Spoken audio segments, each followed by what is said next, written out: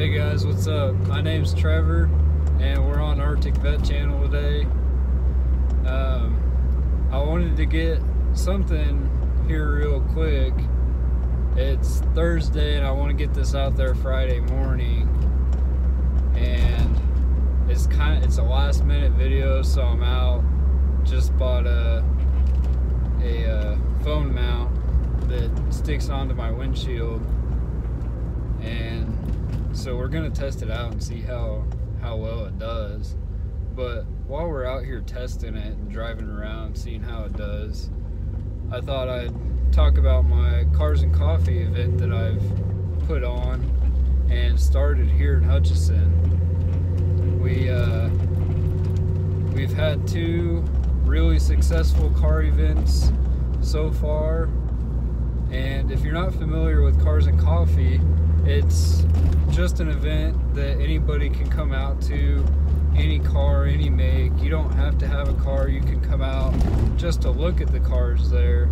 But it's totally free, no registration, no entry or uh, no entry fees, none of that. We actually have it at the alley here in Hutchinson, and they're awesome enough to provide us with coffee, iced tea, and water for free. And I go ahead and I buy the donuts, and so we have donuts up there for free too. I mean, you can't beat that.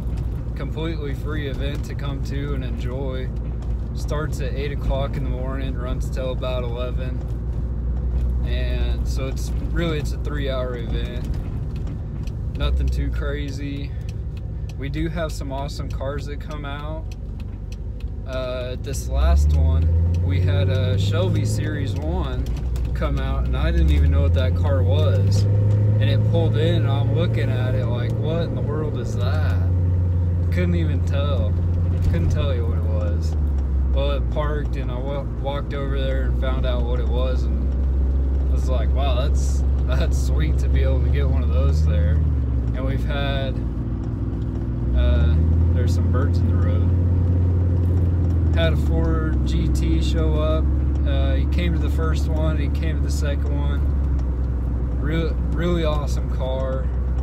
And then we have the guys that come out with just their project cars, and they're working on them, doing things to them. So it's great to see that wide range of cars and the community come together like that. We even had some people from Wichita come to this last one. I want to say that there were 16 Mustangs from Wichita. This is a really nice car in front of me right now. Old, couldn't tell you what it is. Cadillac maybe, old Cadillac. But uh, so there were 16 Mustangs that all pulled in at once, and it was the sickest thing ever. Um, you could actually see it in my past video, my last video that I uploaded Monday was about that. So we host our events on the last Saturday of every month at 8 o'clock at the alley. And those guys, they're from a club there in Wichita and he, the guy, the president, came up and he introduced himself, and he said that there were two more, but they overheated, and there were some old Mustangs. So, I mean, we've got people coming from quite a distance to join our cars and coffee here. and these guys in front of me are talking now. but the whole the whole thing that kicked off the Cars and Coffee idea here in Hutch for me was actually attending the Cars and Coffee in Wichita. They have theirs at the alley too. And we went to their opening season one this year. And after that, even though it was a cold day, I I looked over my wife as we're driving back and I'm like, why don't we have something like that here in Hutch? We've got to get something going. So I mean, if you're looking to start a Cars and Coffee, you have questions, let me know. I can try and answer some of them here real quick. But I mean, really, it just takes the drive, the passion, to want to do an event like that and get it started, you have to have that first to get anywhere. Because I I came back and I said, you know what? All right, how much are donuts gonna cost me? How much? How can I get some coffee and maybe some water? And then the biggest part is finding a location. Well, since the one in um, Wichita was at the alley, I thought that's a good spot to start. So I called the alley. Well, actually, I emailed the alley, and they were overly excited for it, and they were all in. So I went ahead and set up a meeting date with them. We had our meeting to talk about it and like what what the plan was, what the idea was, what we needed from them, what we were expecting kind of lay out the rules and whatnot. So we we got that done, settled out, and we got the first event going. And so after that, after our first event, I'm not sure what this guy's doing. Looks like he's just gonna wait here. But so after our first event, we talked a little more. We're like, all right, this is a hit. We had we had roughly 80 cars show up to the first event, and I would say over 100 people easily because there are people walking from from their houses to just come and look at the cars and see what was going on. And so we decided let's go ahead and continue it.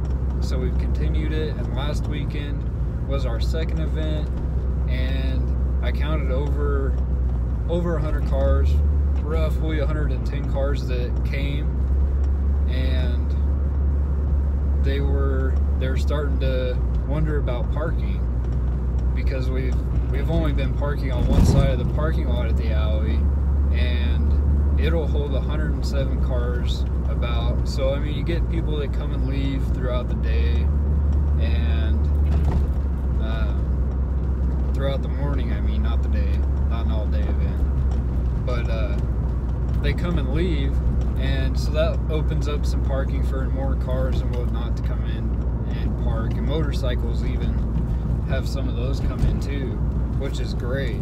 I mean, I I had people ask me, well, can motorcycles comes? Are trucks allowed, or are these and this allowed? And I'm like, you know, if honestly, if there's a pilot out there that could land a plane there legally, not get in trouble, I would totally be like, done, do it. Let's have a point at a Cars and Coffee. Because who else does that? I mean, that would be that would be awesome. And uh, I, my uncle has a friend that has a speedboat, and my uncle's talked to him a little bit about coming out and bringing that. But since it's lake season weather, it, he's gonna probably be at the lake more more than come to Cars and Coffee But still it would be really cool to have a speedboat come out to Cars and Coffee because it's not every day that somebody my age or really anybody, even kids, get to see a speedboat or a boat in general. I mean, you could see them out on the water, but you see them out on the trailer and you can actually get to look at them and some of them are really really nice and it would it'd be cool to have some of that there so, I mean, if you guys have a boat and you're in the area, bring it out. That would be awesome.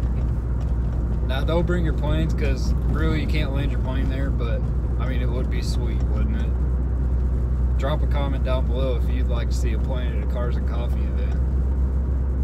I think it'd be pretty cool. So, I mean, that's really. Oh, we hit a train. Bad timing.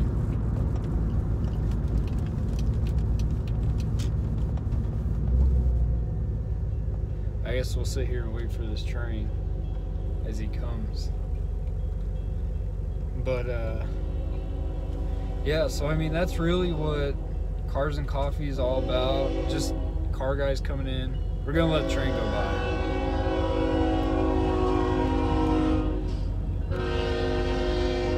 probably can't hear me over that horn. Maybe I should have a contest with him. I bet he'd probably win though.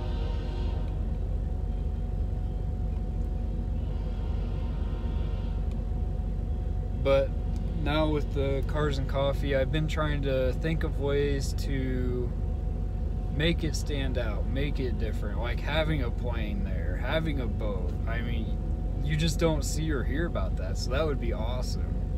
And even maybe having some getting in touch with some businesses and having them come out and talk about like pro chargers, turbos, superchargers, maybe tires and setups with wheels you can do, just modifications, some wraps or something like the benefits or and detailing. Detailing is a big thing, especially when you get into the car community. We all want our cars to look good, and so detailing was the first thing that I did to the car. I took it to the Clean Freaks, and I was like, all right, go ahead and slap that ceramic coating on it, make it beautiful, and they did. They turned this 20 year old car into like a brand new car.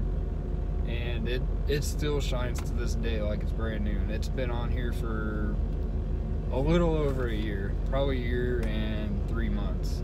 But that's definitely the first thing I'm going to do with any car I ever get again.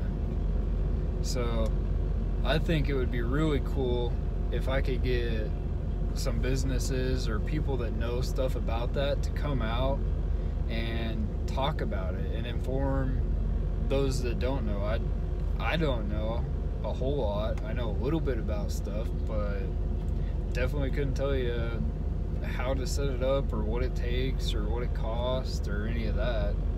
I tell you, I love how it sounds.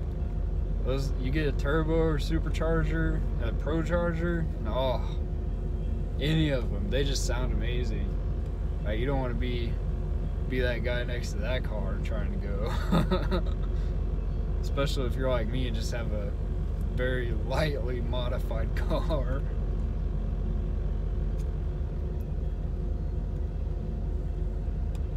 This is a long train. So hopefully this comes out really good. Um, I noticed it was kind of bouncing around a little bit. This mount, I just bought it from Walmart. It this is only $16, so I mean, if it's not great, oh well. But if it works, great. Uh, that'll that would be awesome. Because my camera that I was using, that I try to use, is a Nikon D3200, I believe, and I just don't have a way to hold it in the car or mount it anywhere. So I thought, you know what? I'll just go ahead and use my phone for it.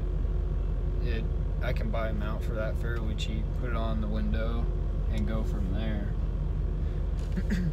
but if you guys like this video, please leave me a thumbs up, drop a comment down below, let me know what you thought, and if you haven't already, click that red subscribe button, and we'll catch you in the next video.